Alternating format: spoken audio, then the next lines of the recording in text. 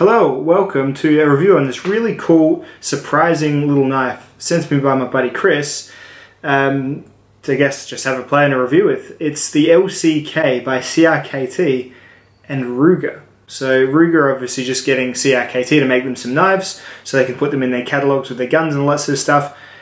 I guess that was a good call because CRKT can get good designers and make good budget knives, and this is exactly what this one is. I remember last year I was banging on about the Kershaw Atmos as my favourite uh, of the year. Um, Atomos, name, origins unknown, reminds me immediately of Final Fantasy IX. I reckon this is going to be the same one for this year. This is everything that I like in knives. I think Chris has seen it and probably thought that's a very Pete knife. And he's absolutely right, it is. This is an excellent little blade. I love it a whole lot. Uh, it's a good little flipper. It's not assisted or anything like that. Uh, it's lightweight and thin. You know, I like the thin knives. Let's take it down to the tabletop and talk a bit more about its specs and show it in comparison to some other knives, shall we? Righto, so that's the LCK right there. Let's put it next to a Spyderco Endura first up. So you see the Endura is a much larger knife than the LCK and then put it next to while staying on Spydercos. It's a paramilitary 3 down below. So you see it's about the same size, length and whatnot as a paramilitary 3. Uh, this is it next to a big lighter. Is next to a Buck 110 lightweight special Super Mikado edition. What else have I got on the table here? Oh, here's some knives that probably aren't super aren't super popular and have very limited value as comparison references, but here's the SOG Terminus XR, which is yeah, about the same size-ish, a bit more of a stout blade. I quite like it, I just didn't love the steel and the price for the steel. And then you've got the Massdrop uh, S35 VN Keen, uh, designed by Ray Laconico. So those are the ones. So it's an interesting place to stop on actually, because you're looking at these two. I reckon these ones sell for about 60 US dollars, and this is a $25 US knife. Um, and I would say the levels of quality are about the same in both of them. And the levels of, you know, uh, these are both really good little EDC knives as long as you don't care about steel. Just the price on this one is just pretty darn good if you ask me. So let's look at the features of this one. Alrighty, so first up, the blade is somewhat of a sheep's foot Wharncliffe style blade. Uh, it's quite a narrow blade, so um, in terms of mitigation of thickness, you see it's about as thick as an Endura blade here. And uh, to, to, sort that out, they've put a pretty keen hollow grind on there. So whilst the tallness will probably not make it as good as, say, an apple slicer as the Endura, uh, these you know tall flat grinds are great for going through food and things like that. Um, this is a really good keen edged, um, you know, still nice and thin where it counts for cutting pretty much everything else. So rope, even stuff like cheese that that you know makes full contact with the knife as it makes the cut, that'll actually be quite good. Well, this is actually quite good for cheese because this little shoulder here where the hollow grind ends actually separates material as well. So a very well done little blade. They've, they've known, oh, we're going a bit thicker, but we're going to make it a bit keener. So it's really well ground. Just kidding. This edge here is my edge. This is a 17 degree per side um, edge, and I'm just about to resharpen it after I've spoken this and shoot the knife lab section. So uh, I put this edge on it just to get, you know, not that the factory edge was bad, but just to get, you know, my style of mileage out of it. So uh, that's that. But um, yeah, overall, it's a it's a nicely done blade. It's got the black oxide coating on it, which you see I sort of have started to knock off during sharpening already. That's why I don't sharpen other people's knives. Uh, and yeah, it's just Lerch Design, LCK, CRKT, and the Ruger logo on the other side. Uh, the tip here, I love this blade shape because it's still got enough of a tip. You, you can even stab, no worries at all. You just need to motion up. Yeah, maybe not stab a person, but you definitely stab into stab into a, a, clamshell package or something like that for sure. Really nice little blade shape. Very, very happy with that one. The blade is, of course, made of 8CR13 MOV, as you'll find with all the budget CRKTs. Uh, I've um, I'm just about to run this through the knife uh, lab, but the uh, rest of them, you know, generally do from, you know, with a work sharp edge, they can do about 50 rope cuts. With a really tall, screaming sharp edge, they can get to like 140 or so. Um, that's when I put like a pretty ridiculous edge on it. Um, I reckon I'm going to go pretty um, high polish on this one. I think uh, that'll probably give it its best chance of doing well. I've got a little bit better at sharpening since I've been doing those Unleashed videos as well. So, in fact, let's move that. Actually, We'll move to that in a second. Everything else you need to know about 8CR 13 MOV, it's very easy to sharpen. It takes a very keen edge. Uh, it's moderately stainless, but it is probably best coated if you're using it in like an aquatic environment or a sweaty environment or something like that. Uh, it's relatively tough. It's been used with adequate success in fixed blades, and it generally runs about you know 58 to 59 Rockwell. But let's take it to um, the table and see how much rope I can get it to cut after a brief stint on the KME to get some mirror polishing action on it.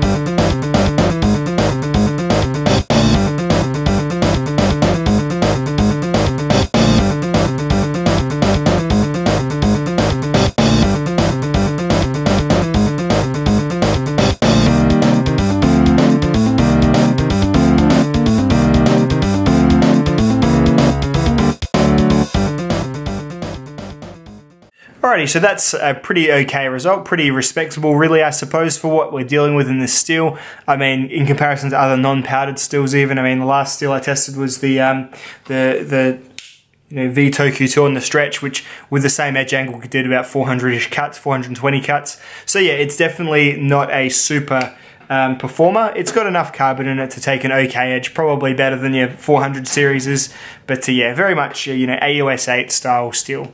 No worries at all. And you know, for the price you're paying, I always see these platforms, these CRKT platforms, I hope they're going to continue doing it as they get something that works and they can use this as a um, as an impetus to start making maybe the same pattern in maybe some G10 and some S35VN or something like that. That'd be a really cool knife, CRKT, if you listen to me. Um, this is one of your special designs. You seem to have a lot that you go through and um, you know they, they might last a year or something and then kind of just vanish or, or whatever, but I got a feeling this will have a crowd that is into it. So I think this is one of the ones to to pilar on and um, you know get some extra extra resources behind and get some yeah get some good steel and good you know better handle materials onto it as well. Because the design I think is proven as good, and um, it's just a matter of if you upgrade everything, you'll probably be able to you know charge an extra fifty bucks per knife, and people will pay it happily because it's a good design. But I digress. Moving back to the other set of materials, uh, you've just got FRN or Grivory sort of style um, handle scales here over some steel liners, which are um, yeah, not uh, hollowed out at all. But it's there, um, it's still a very lightweight knife because there's just not much to it. Uh, the handle's got a very neutral grip, which I always like. It's basically a straight stick with a slight index notch, uh, and then you've got a um, you know some pretty superficial lumping on. The, it is these are just feel like lumps. It's not particularly grippy or anything like that. It's just bumpy, wavy sort of texture on the handle, which I guess doesn't hurt the grip. Uh, you can choke up with the forward finger choil. My fingers, I wear uh, what have I got? There's some new mechanics gloves. Uh, I wear extra large mechanics gloves. Um, I don't know if that helps you, but my finger is kind of a little bit fat to really use this for anything more than super light tasks, just because I start to encroach on where the edge actually starts. But if you've got smaller hands, this is probably a great choking up knife too. However, absolutely no worries, just gripping the thing like this or like this and cutting and cutting and cutting, and it does a really good job. Another thing I really like about the knife, like a real strength of it, is the pocket clip. I love this little pocket clip. Uh, I'm a deep carry pocket clip fan. Uh, this just complements the knife really, really well. Uh, it's straight down, it's not too long. Uh, it's a light knife, so it doesn't need anything crazy really holding it into place, but there's plenty of grip to be had at this contact point, and of course, nice bit of waving there as well to get it into most pocket seams without worrying too much about having to wrench it around or anything like that. So it is really, really good in pocket.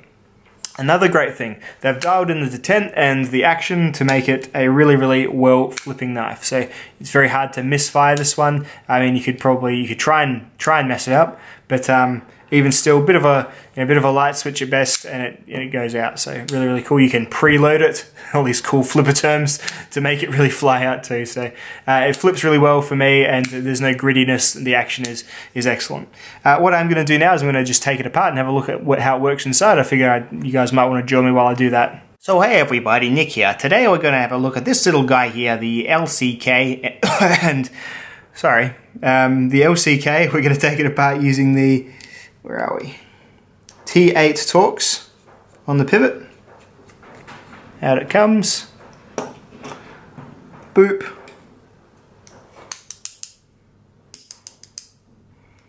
Yeah, it'll fall out. So just one-sided Torx there. And then those look like little, what are we thinking maybe, not fours, I reckon sixes, have to be sixes surely. The rest of these, yep, they're little sixes. Oh, and they come out So far, nice and easy. Just want to see what the pivot's uh, looking like and what the construction's looking like inside.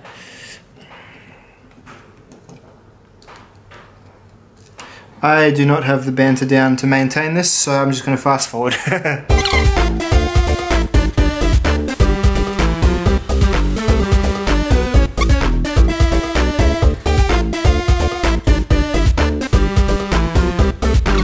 A little bit of drama on these screws here. They sort of not sure which way they were going in and out or whatever. So yeah, cool looking at little um, bronze phosphor washers there. So that's why flips quite good. Seem like quite little, and actually not quite so thin either. They're quite sturdy little bronze phosphor washers. So pretty cool, huh? Um, that's the insides of this knife here. Um, yeah, a little backspacer there. Yeah, just a couple, ah, that's what it was. These little tubings were a bit awkward um, screwing into and out of so yeah, that's that's what it's made of. That's the um, components there. So you got these. This is plastic with the um, plastic handles with the full steel liners there. Big old pivot. Yeah, not too complicated. T8s and T6s had some you know awkwardness with the screws back here. You know, one you know twist it, the other side turns. That sort of stuff. But hey, easy enough to get apart, and that's what you're looking at.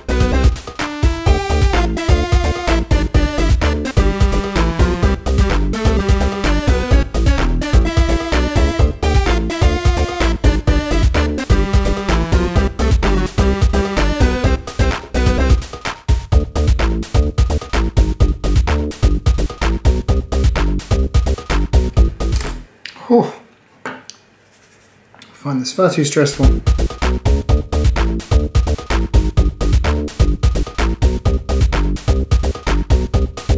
Over tighten that pivot. yeah, it's okay.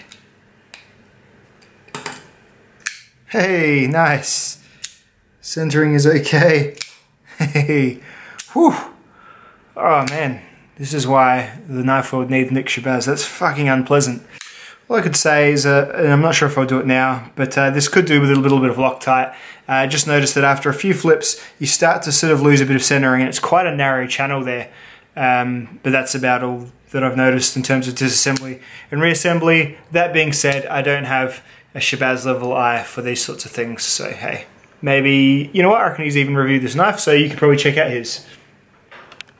So yeah, listen, if you're obviously okay with 8CR 13 MOV on your $25 knife, which can't really see how you wouldn't be, um, then this is a great design and a great knife uh, to buy if you just feel like buying a knife. I mean, I know that's why I often get little knives like this because, you know, I, I, might have gotten paid, but, you know, you've got other stuff and, you, you know, this is your thing that you do. You know, you you might be married to a, a, lady who buys different nail polishes and does her nails once a week. You might buy yourself a little cheap knife to play with once a week. These are what, that's what these things are great for. However, a lot of them lack the longevity uh, that you know this one does because this is this is quite a good one. I'd say the design is a little bit of a step up above a lot of the other um, the, a lot of the cheaper sort of. You go on those sites, so you see RKT Kershaw, they're all kind of a little bit similar. They're all kind of those same style. You know, I know it sounds really broad, and I guess it is kind of broad, but you know, there's often the stonewash blade, black handles, all those sorts of things you get see, see getting around. This is unique and, and, and, pretty damn cool, I would say. So good job to Mr. Lerch. I don't know anything more about you than that. Good job to CRKT for picking this one.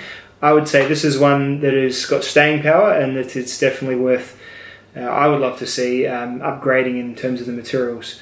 Um, because yeah, whilst the 8CR13 is pretty good, um, it's dulled twice already in my review period. Once, admittedly, was intentionally so on the rope, but then uh, the rest of it was just through a few general tasks over a few days. So uh, the other steels do last you a bit longer if you're not a fan of resharpening. That being said, 8CR is not a drama, not a drama to touch overall. That's that soft closed door I was just fixing. You know how often you hear a big bang in my videos? Um, yeah, insulated as best as I can anyway, because it is still a piece of tin.